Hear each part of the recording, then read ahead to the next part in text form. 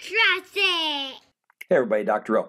This video we're going to talk about the bacitracin. So bacitracin is a, called a peptide antibiotic, so peptides would be short protein chains.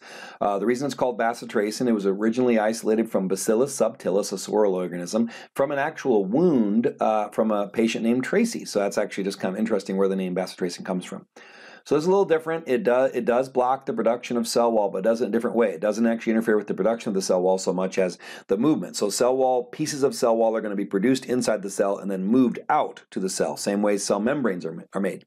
So this drug is actually going to block the movement of the precursors, the peptidoglycan cell wall precursors, from making it to where they're produced to the actual cell wall. So it is going to inhibit the function of the cell, uh, the production of new cell wall, which will kill the bacteria when they don't have a good enough cell wall. Basically, osmosis will kill them at this point. The cell wall um, can't protect them if it's too weak.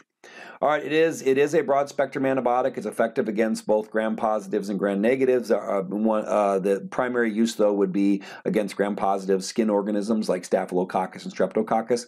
So you technically could use it orally or intramuscularly, and, and occasionally it is but it is nephrotoxic, meaning it can damage the kidneys. So it's primarily used with um, polymyxin B and neomycin in what you would call the triple antibiotic, or most commonly known by the brand name Neosporin. So this is this would primarily be used topical in that way. So it's neomycin. I have to think for a second. Neomycin, polymyxin B, and bacitracin are the three antibiotics in your triple antibiotic ointment or your Neosporin. All right, so that is bacitracin. That's primarily how it's used, and that's what it does. I hope this helps. Have a wonderful day. Be blessed.